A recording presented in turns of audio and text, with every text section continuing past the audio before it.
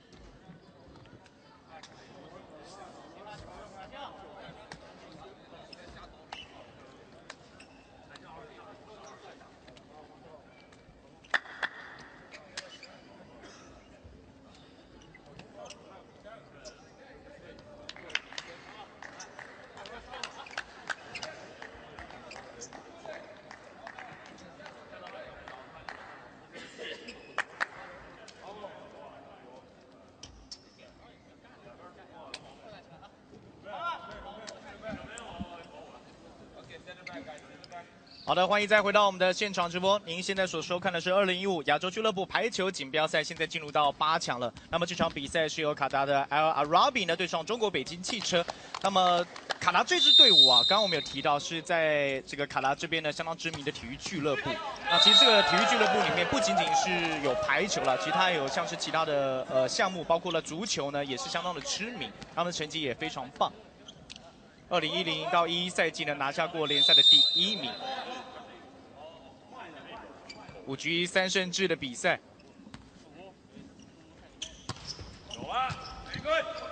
而进交了发发球，哦，这就是我们刚刚所提到的喽。对，没错，这个十七号选手在前天中华队对上卡达的时候，这名选手他几乎一球一分，而且他造成，但是我觉得很。卡达到现在从预赛、复赛到现在所谓的进入八强要进四强的赛，十七号选手他几乎没有人可以防到他的球，只有对上中华队那天，几乎都被我们的守中华守护神自由球员林永顺打一颗守一颗。是，所以也不算是无敌的啦。当然，呃，对于他的这样的弹跳能力，所以举球员来说，就尽量把他往这边送就好了。没错，其实卡达这个球队几乎都打三个人球队，比如说十四号，包括现在发球的十三。那这次反观北北京汽车，他这次来的队伍虽然北京汽车，但是他在 U 二三今年的五月的时候，在 U 二三代表队就是派上北京汽车去打 U 二三，那时候的中华队连续两次就击败了这支北北京汽车。嗯，其实这支呃这次的中国北京汽车排球队有两位呢前国家队的国手，包括。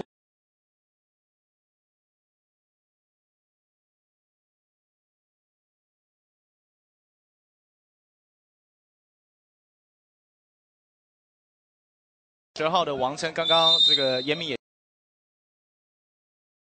是有，这样看起来也有三到四位的国家队成员呢。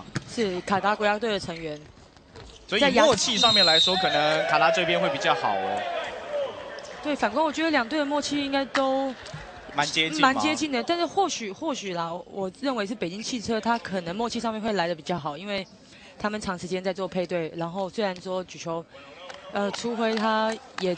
现在也没有在国家队里面长时间待在自己的队，那反倒是卡达，他这次来亚俱杯借了一个三号的举球员，他的他借了一个非常高个子的举球来到这边，我觉得他相信他配对他需要一点时间。嗯，卡达现在已经取得四比一的领先了。马上刚刚奥斯梅尔三人拦杀球，没有能够得分，直接出了界外，很快的取得了四分的领先呢。卡达个子高啊，这形成修正又形成三人拦网，这对中国队的压力会很大。对，布下了这个天罗地网啊。Bravo 持续的发球，身高一百九十五公分，他是在卡达队当中的来自巴西的外援。直接来一个 A 式，没能成功。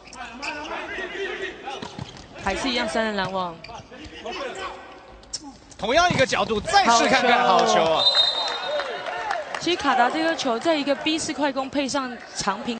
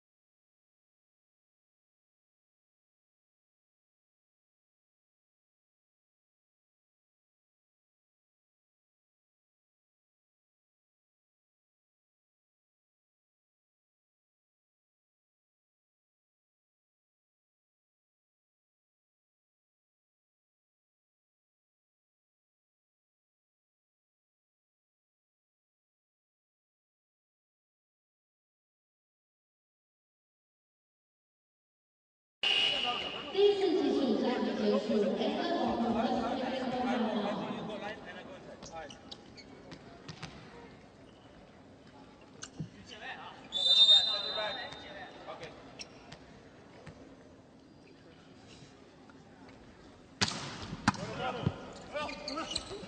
好了，赶紧再回到我们的现场直播哦，总算是中国北京汽车得分了。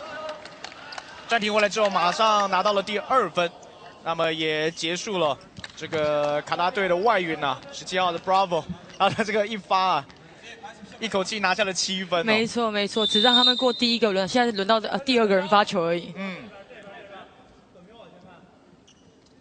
黄琛，这一发没能过去，这也是前国家队的队员。去年呢、他是在意大利的联赛里面了，在打工啊，打拼哦。没错，这也是中国男排第一次让自己本土还现役的选手出去打国外的所谓国外的联赛。对，这的确是不容易了。好，好像暂停回来之后，慢慢找到了比赛的节奏。好像中国队码这几个对方拿一分，你自己拿一分，还能够咬住了。没错，接发球到位的状况下，你就可以看到拦网卡达的拦网已经有点开始在崩崩崩盘，嗯，没有那么稳定，双人跳那么扎实。十六号的单庆涛，身高有一百九十八公分。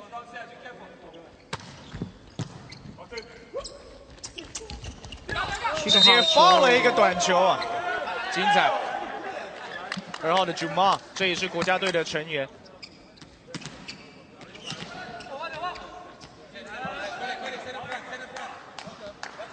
这也是见缝插针的一集啊！好，这也是卡达的外援，来自古巴 Osmel。哦，这个发球非常强劲啊，角度很刁钻。飞式的传球，这是触网了。嗯，中国队现在拦网造成他们太大的转移的时候，就很容易触网。那现在的排球规则就是，现在只要碰网子，碰就失分。对，所以其实，在攻击在拦网的应对上面，真的对网子要很小心。嗯，然后现在再度的喊出暂停，双方有着八分。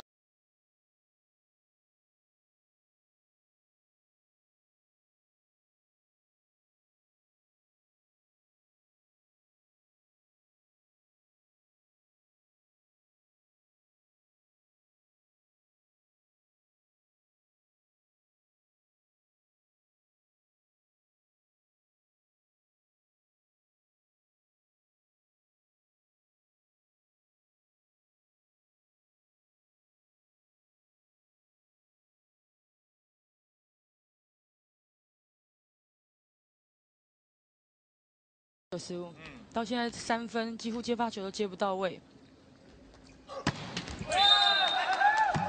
这一发没有能够过去。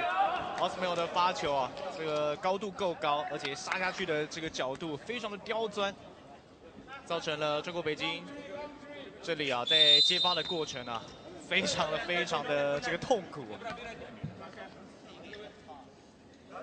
主要的杨帆年纪二十七岁，他的身高也有一米九七。哦，好球，漂亮！这个拦网非常扎实啊。对，把 Abraham 的往前扣杀给拦了下来。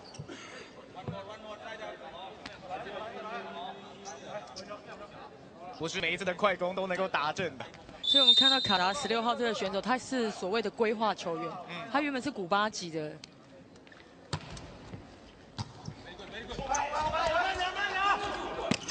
哦，想要来做一个变线。慢慢分数拉追了上来，十三比六。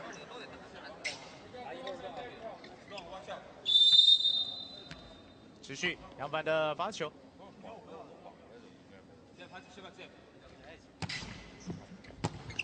好球啊！这真的发球就成功了，哇！这算是阴错阳差吗？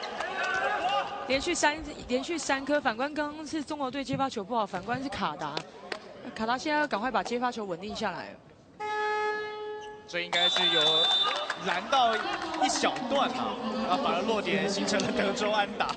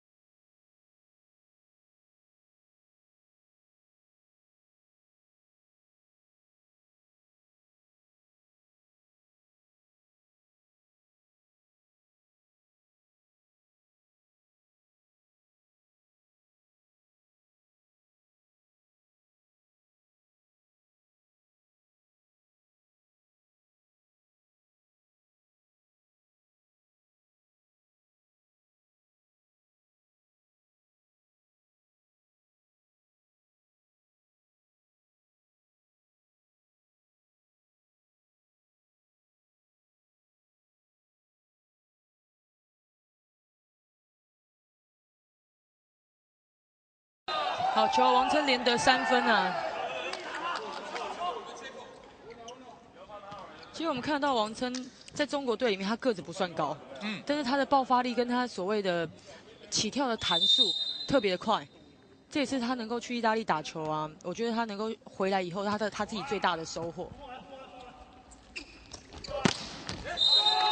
这个逼是真的太凶狠了啦！这个打点应该有三楼吧？几乎那个打点都在标志杆最顶端。这怎么跟你玩呢？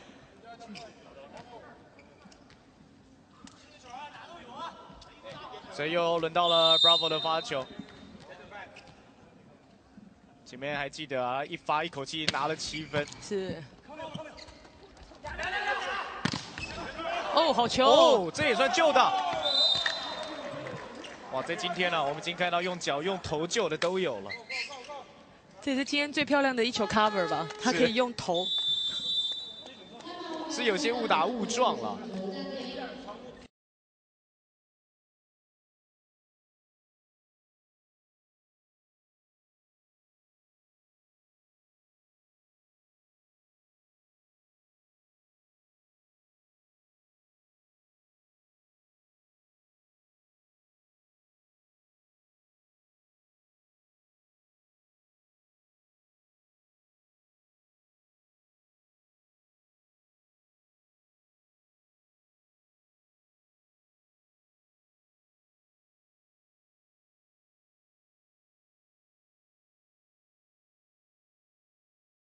救的，哇！在今天呢，我们已经看到用脚、用头救的都有了。这也是今天最漂亮的一球 cover 吧？他可以用头，是有些误打误撞。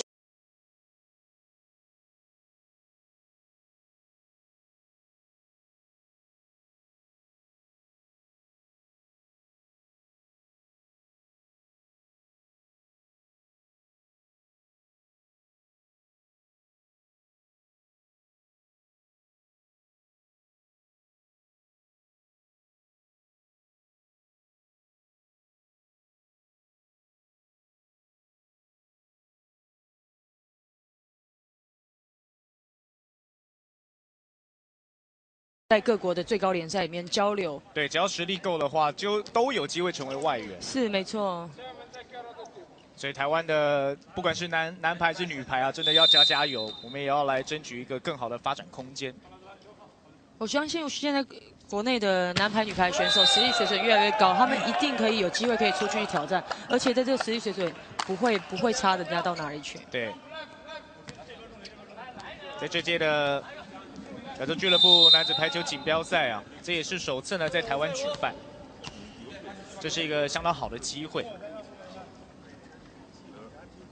到了王晨的发球，彼此快攻哦。虽然在配合上面球有点低哦，对，但是技术还是还是一样蛮好的，反应很快。没错，这样也算抓了一个时间差。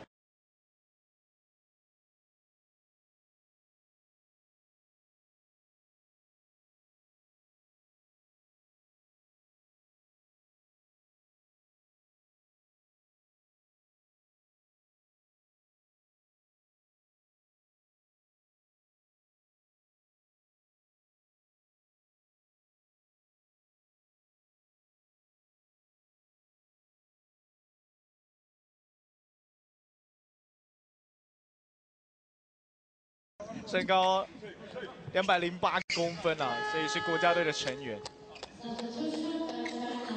我看看他这几名重炮手的弹跳能力啊，包括到本国的或者是外援啊，所以攻击能力都非常的强。好，十五号的英姐。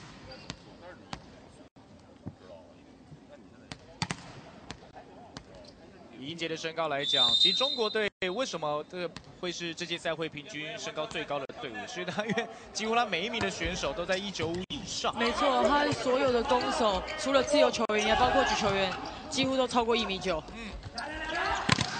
哦，这个 C 式的攻击被拦了下来。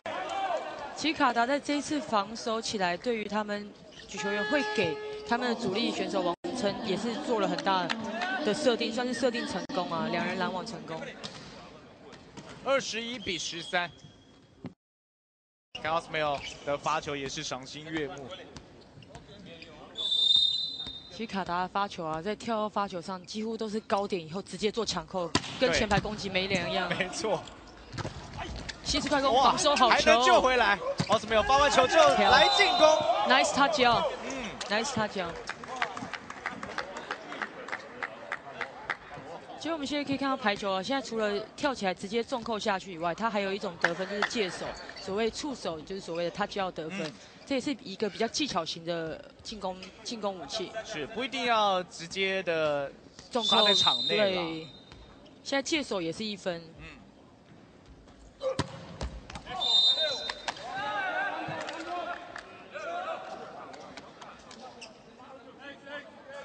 这球的发球应该是没进哦。傻避暑赠送，又轮到了九号的杨凡，年纪二十七岁。哦，这个配合默契出了一点问题。刚开局的时候就有讲，在卡达他们自己在打亚锦赛跟打他们国内联赛的时候，并不是这个三号举球员这个高个举球员在在跟他们配合。嗯，是这次来来亚俱杯的时候特别。把他叫过来，也算是算是外援的一种。嗯，所以在默契上配合的过程啊，还是会有有的时候会出现一点小瑕疵了。我一场一场比赛打下来，这个默契只会只增不减。没错，尤其是他们这种成熟的队伍，再多多打一一局，不用一场，可能一局球可能就会回到自己他最甜美的地方。嗯，二十三比十五。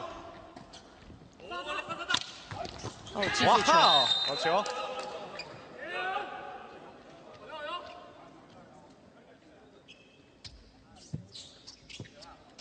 逮到了一个空档。其实王琛也是个子不高，但是他必须要用头脑打球，有时候不一定抢扣。三只、三个人、六只手都已经摊在那边，他也必须要找后面漏洞的地方来来得分。对。不能空有一身好武力啊！没错，但这个有的时候好武力还是很好用的。漂亮，这个 A 四快攻。对，Abraham 在空中他自己身体跑的弹性，还可以做一个转大转身呢。嗯，这个举球跟攻击的时间配合就恰到好处了。得分之后，Abraham 的发球。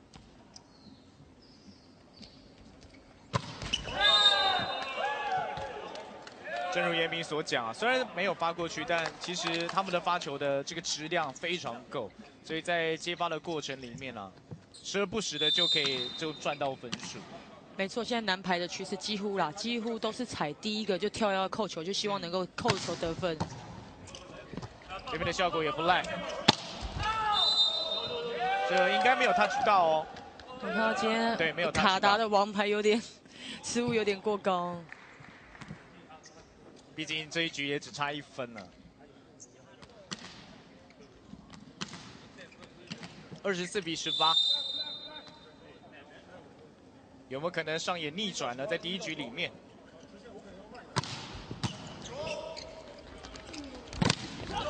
还有还有机会哦！哇，拦了下来啊！也代表这一局呢是已经结束了。那么在第一局呢，二十五比十八的比数呢，卡达先拿下了这个第一局的胜利。那么我们稍微休息一下，再回到直播的现场。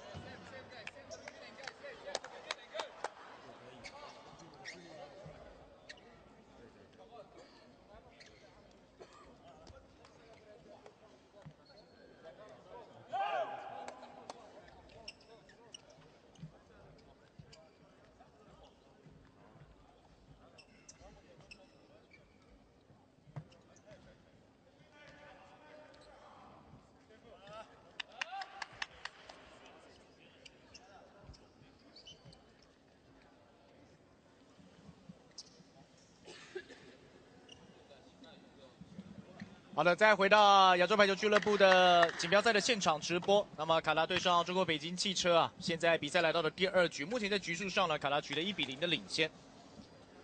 那么卡拉这支队伍其实呃，在这个锦标赛里面，二零一二年他就是冠军的球队。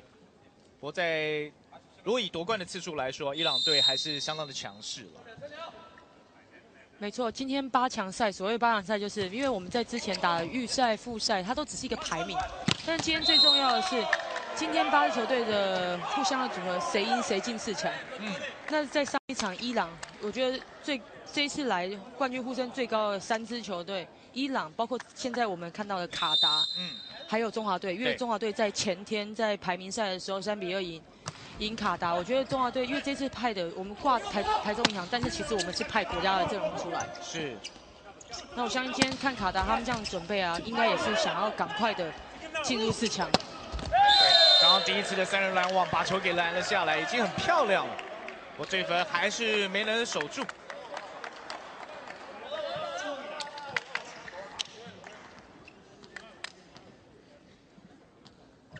就这样看起来奥斯梅尔也连拿两分呢。这算是比较在今天的比赛里面比较罕见的发球失误了。是，而且很可惜哦。现在发球有两种，一种是跳跃发球，强力的扣球；，另外一种是所谓像刚刚举球员发的跳跃漂浮球。嗯。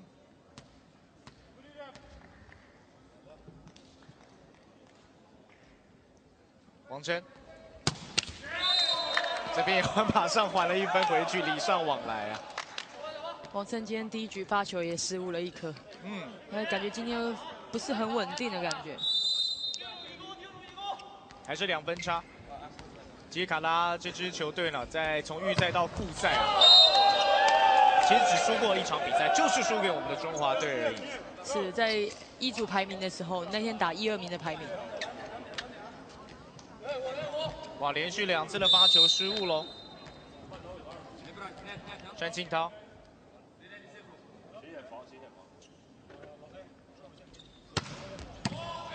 这个发球质量也不差，再找到了这个进攻点，没能守下来。基本上球送到这个外援啊，包括 Osmail 以及 Bravo 这里啊，这个得分效率太高了。是因为你看，几乎他们这种外援，你说北京北京汽车今天一对一对，要能够去拦他，其实真的很不容易。这个人不行啊，我们就用团体战。没错。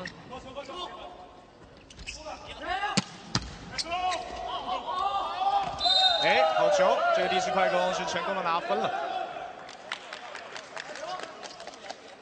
好球！前一颗卡达是用后排来做一个取分，北京汽车也一样，用王琛的后排进攻做一个取分。嗯。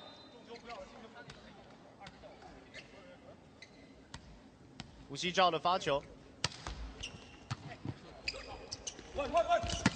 好球！也是逮到了一个空档。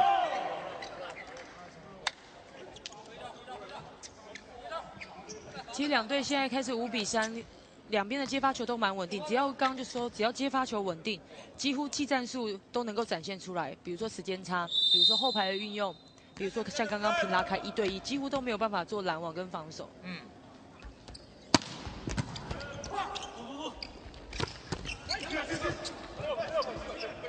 救的漂亮。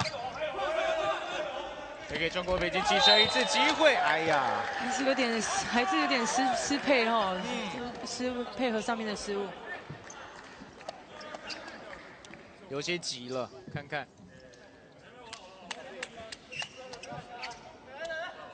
这个角度并没有能够带到，我现在双方依旧是卡拉能在分数上取得领先。很可惜啊，希望也不影响中国队了。希望他们赶快稳定下来。对，这个失误有点有有点 shock。嗯。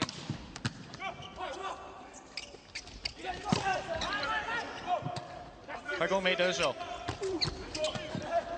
哇，这个真的救不到了。朱辉很想要去拼啊，这可能身高化成姚明啊，用脚还是够不到。所谓的身高有一米八八了，所以当然在球队当中的呃，以身高来说，以他的位置来说，就是比较偏小。没错，如果换成鲁夫，应该有机会。对，这有在看动漫的。好来，比赛持续的进行哦，在这一局里面，其实卡拉在发球上送了不少分数，这是他们第三次的发球失误了。我截止到目前为止啊，他们在这局里面的得分，大部分还是集中在十七号的 Osmail 以及十三号的 Bravo 身上。没错，接发球到位，只要往这边送，就待就补，没有问题了。很快的拿下了八分，现在卡达又取得八比四的领先。那么同时我们稍微休息一下，不要离开，不要转台，我们待会马上回来。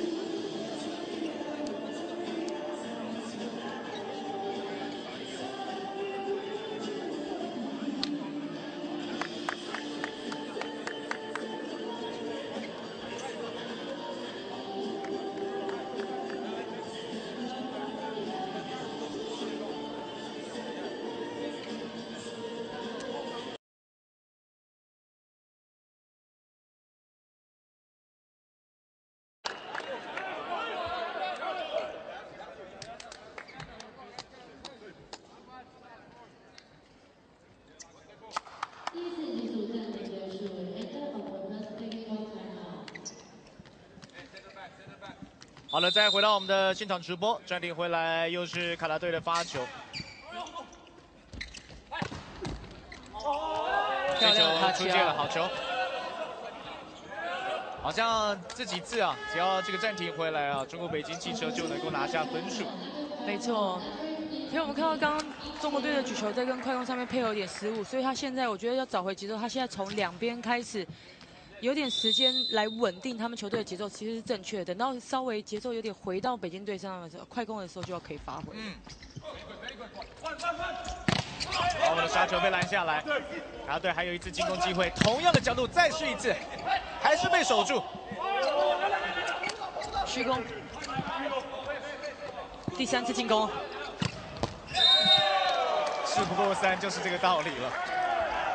好球。所以说排球一个好的主攻手，他不能只有打一颗球，他必须还要准备第二颗、第三颗，有防守、有拦网。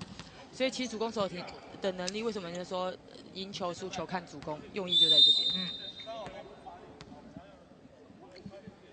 刚得完分之后，直接来发球。哦，太靠网，还有哇，这是看得到追不到。有点太靠网了。这个高度也不够，所以依旧是配合上的问题。没错，其实举球，反而我觉得把王琛换下，我觉得有点意外啊。应照理来说，应该是换一下举球员，能够调整一下节奏，因为毕竟跟快攻的配合有点失误，然后举球有点太靠网。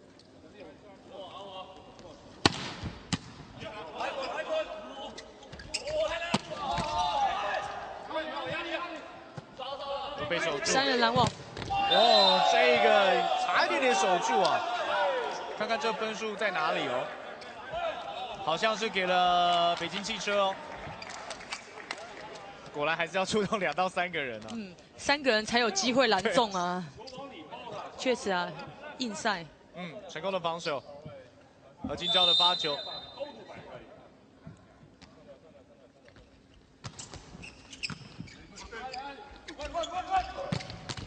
哇，还是送到 Osmail 这里，一对一就没机会。对，而且只要这个送的高度够高啊，这太难守了。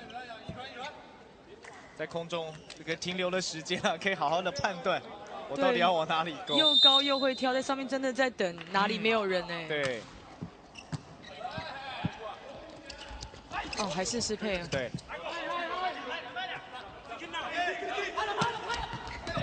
哇，其实这一次的卡拉在配合上也没有做的特别好。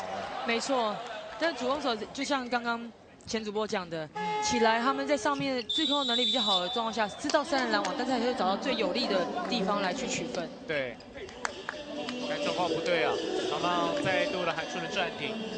目前双方十二比六，有着六分的差距。那么刚刚我们有提到，其实卡达从预赛到复赛呢，只输了一场比赛，就是输给我们中华队。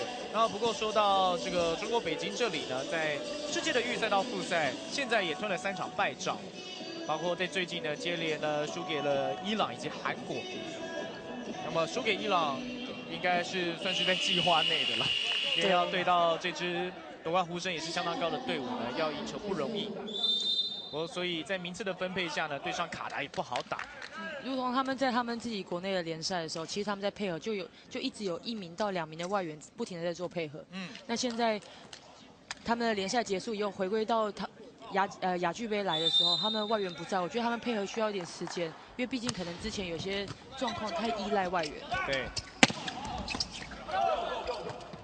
是不是暂停回来又能够取分了？触网哦，卡达触网。中国北京汽车在其实这一次的名单带过来啊，这个他们的杨将呢，Italian 呢，Marshall，其实在这个名单当中。不过这是他们准备啊，在新的一个赛季里面邀请过来的这个外援球员了。上个赛季其实并不是 Marshall 来参赛。没错，他可能现在中间刚好有个时间的过渡期，所以他就没有办法到台湾来先先打这个亚俱杯。嗯。因为每个赛季每个赛季其实，呃，不仅仅是中国这一边啊，有时候今天在外打拼哦，在海外流浪没错，他可能还在别的地方打。而且有的时候也可能在度假，也不一定啊。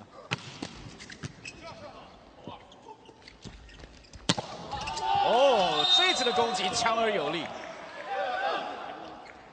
十一号的江川，刚换上来就就有办法建功了。嗯。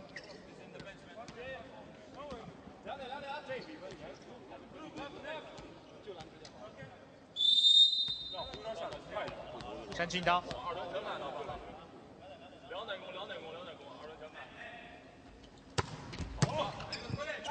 过去的角度还不错。哦，举球好球。还有。还能够守回来。哇。这已经是尽力了。其实我们看排球，可以也让那个观众稍微了解一下，在进攻过来，像北京其实加这样的防守，只要能够过到，只要在绿色的场地内，嗯，在球柱外都可以把他救回来。但是这个球救回来以后，他不能做跳起来的进攻，他只能做低手或者是上手托球的安全球。十四比八。哦，nice，连得两分。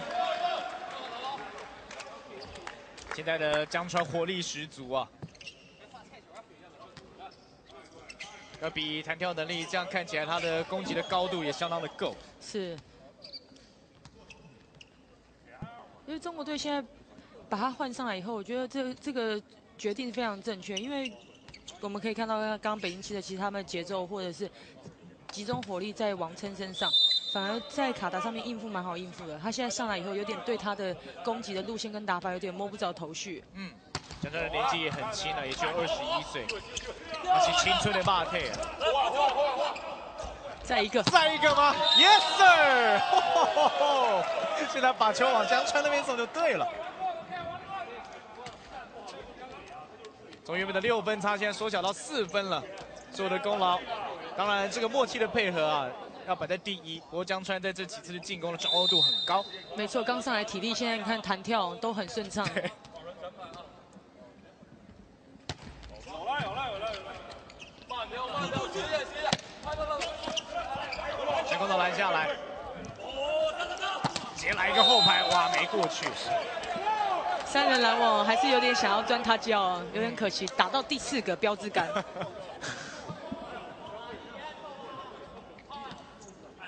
不过在这局，好像双方的这个对抗竞争是内容是比较越来越丰富。确实，来往的来回坡球速变多。嗯。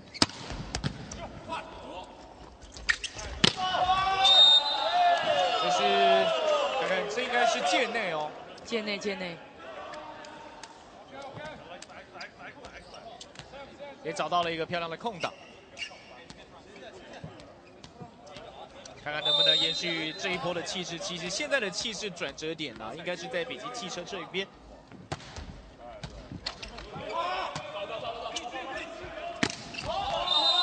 没错，再下一分，哇，追到只剩下从原本的六分差到现在只剩下三分了。所以我们看到北京汽车换上来十一号的小将，还有十五号的小将，他们上来现在攻击建功，都让卡达队有点现在有点吃足葡萄。对，一个二十岁，一个二十一岁，对小鲜肉没辙。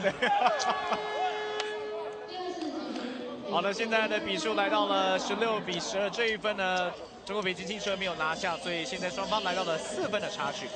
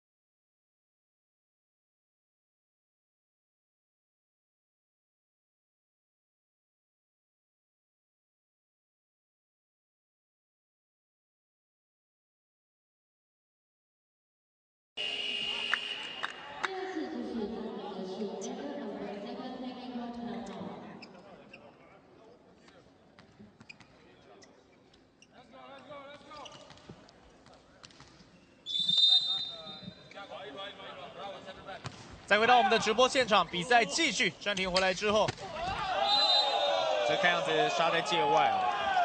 其实这时间差，中国队这个时间差是他们现在出现的第一个时间差进攻啊。很可惜，几乎都掉到卡达的选手了。嗯，没有把握。好，现在进行人员的调度。十五号的英杰下去，那么让五号的张炳荣来到了场上。换一个一九七下去休息，换上了一个一一米九八的，差不多，差不多，差不多，差不多。哇哦！现在将穿上 Unstoppable。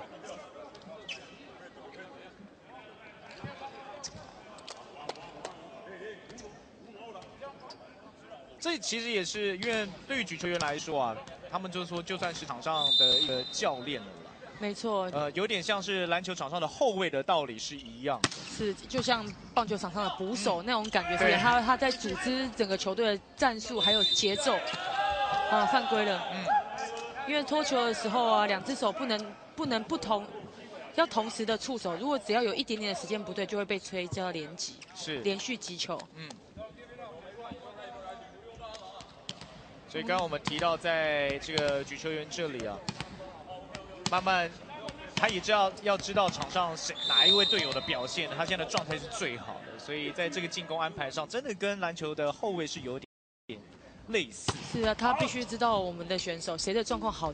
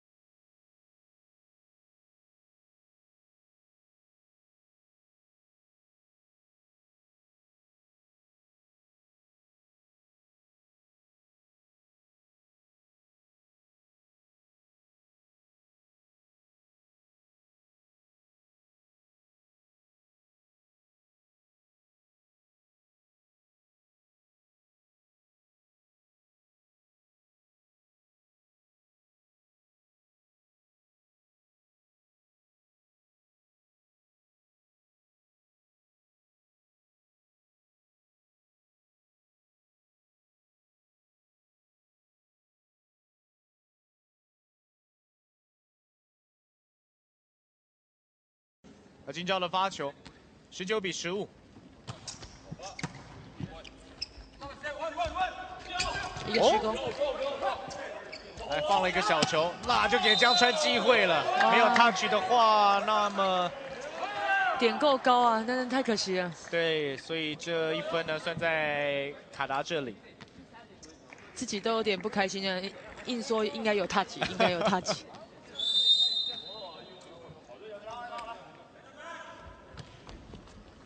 我比赛就是这样，还是要尊重这个这个裁判的认定啊！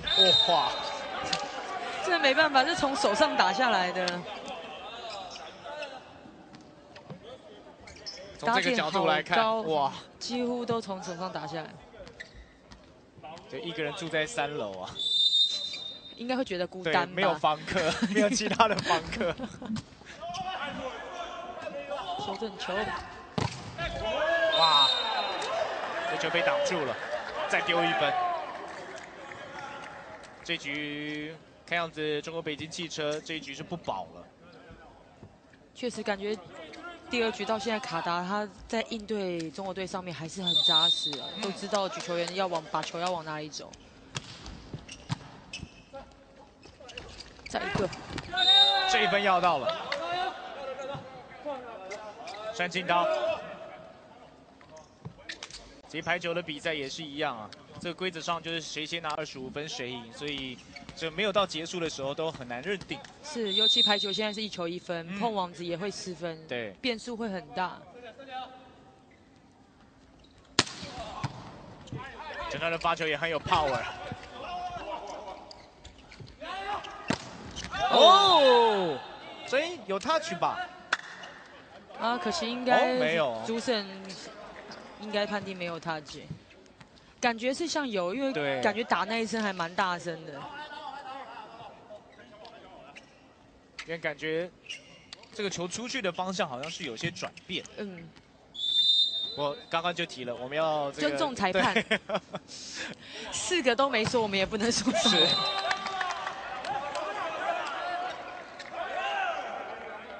二十四比十六了，又来到了这局的局点。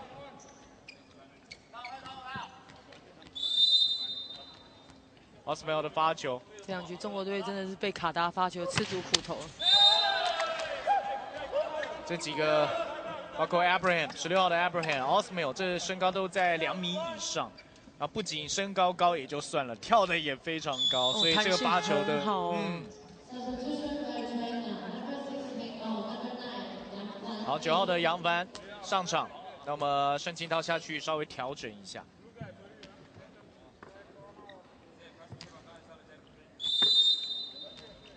七分的差距！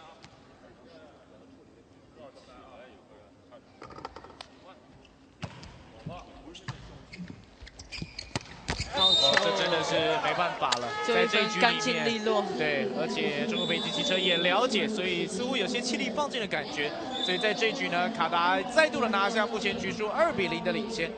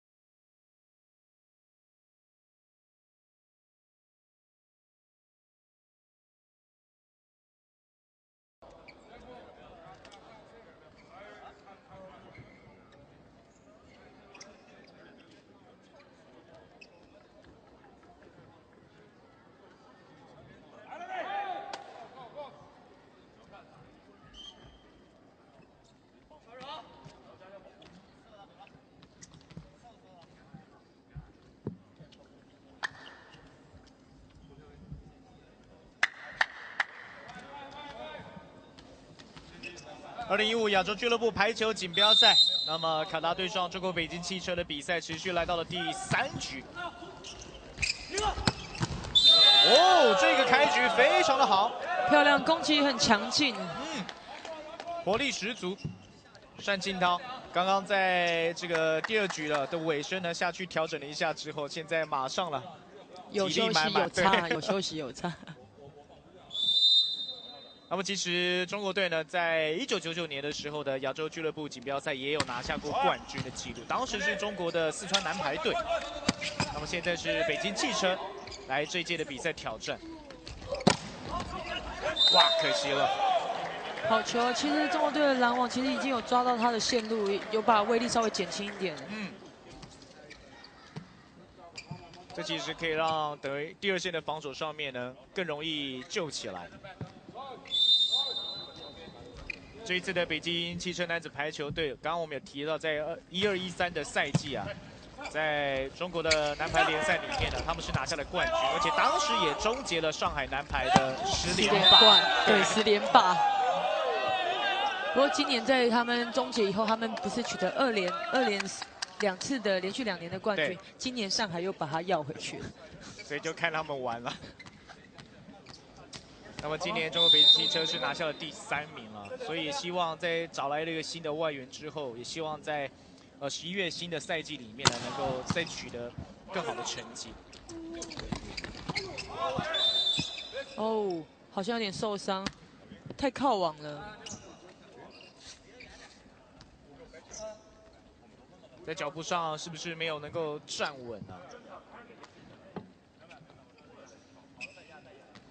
其实先前还记得，呃，我们过去有在体育学院上课的时候，有时候跟不同专长的这些同学们在聊天，他们说有某些，呃，类型的运动，由于他们的这个运动的方式是相当的固定，像是排球、田径，他们这个跑动的方式都是还蛮一致的，所以有的时候，呃，对于田径啊或是排球的选手，突然要去做到很剧烈的这种左右移动的时候，可能就比较不习惯。没错，没错。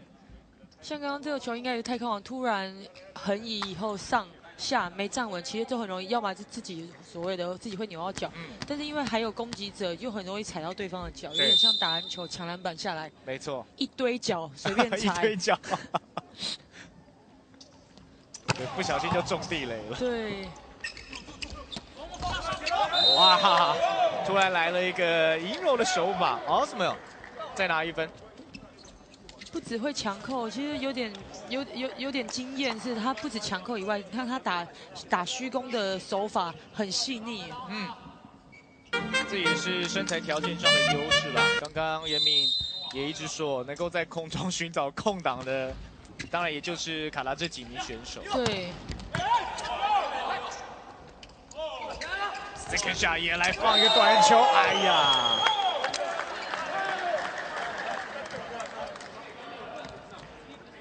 十六号蓝点太高了，在上面还可以等，再把它抓下来。对，这其实它还在往下落，还没落地，第二次起跳呢。三比三，对于中国北京汽车来说，这是一个不错的开局。那么看到这里发球啊，再送一分。这换人的速度也很快，马上让提亚狗呢回到了板凳区。三点，三点，三点啊！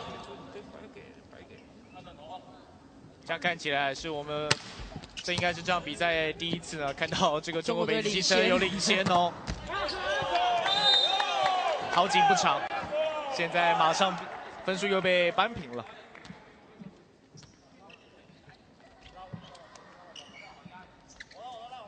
不过现在这个开局大概是这两局开局开的比较漂亮的，也希望北京他可能好好把握一下这一局。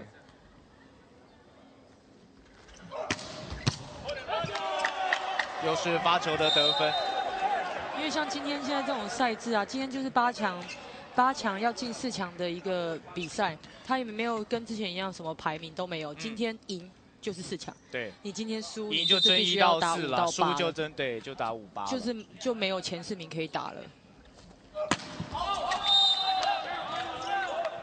这次的判断非常的正确，五比五，再度的战成了平手。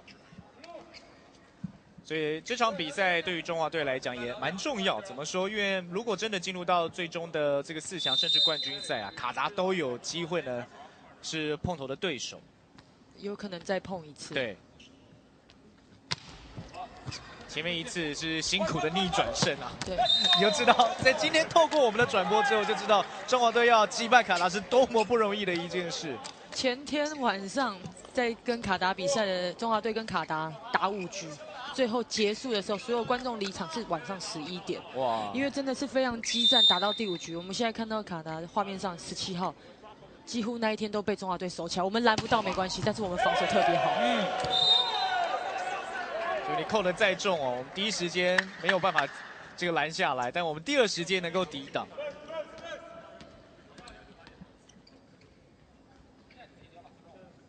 再度要回了分数的领先。九妈，其实今天他并不是比赛当中的焦点哦，这个球应该是杀在界内，漂亮的直线，我们看到几乎卡达的拦网。双人拦，但是也来不及了。嗯，看似要去做一个对角，结果来了一个直线的进攻。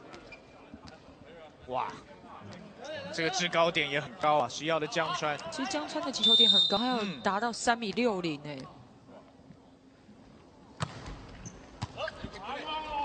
应该三米六零给观众一个概念是，男生的网高就是两米四十三。对。那么以篮筐来说，也不过三米一五啊，所以大家这个随便自己算一算了。目前呢，场上还做暂停，比数八比六，可达两分的领先。